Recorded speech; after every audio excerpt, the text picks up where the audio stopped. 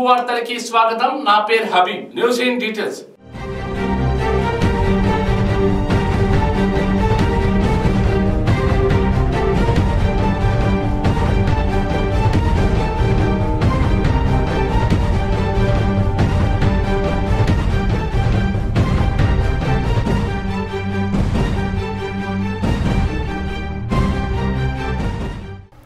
గతంలో చాలాసార్లు విద్యార్థులను స్కూల్ టీచర్స్ వేధిస్తున్నారని చిన్నారులను హింసిస్తూ చితకబాత్తున్నారని మనం చూశాం.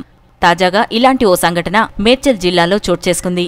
మేడ్చల్ బ్రిలియంట్ గ్రామర్ స్కూల్లో టీచర్గా పనిచేస్తున్న మంజు తన పైశాచికత్వాన్ని ఎల్కేజీ చదువుతున్న విద్యార్థినిపై ప్రదర్శించింది. పసిపిల్ల అనే కనికరం కూడా లేకుండా చిత్తకొట్టింది దీంతో విషయం తెలిసిన చిన్నారి తల్లిదండ్రులు బంధువులు స్కూల్పై దాడి చేసి ఫర్నిచర్ ధ్వంసం చేశారు.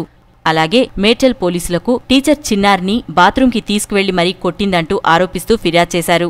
అయితే గతంలో టీచర్ మంజు ప్రవర్తనపై ఫిర్యాదు చేసినా స్కూల్ యాజమాన్యం పట్టించుకోలేదంటూ బాధితులు వాపోయారు.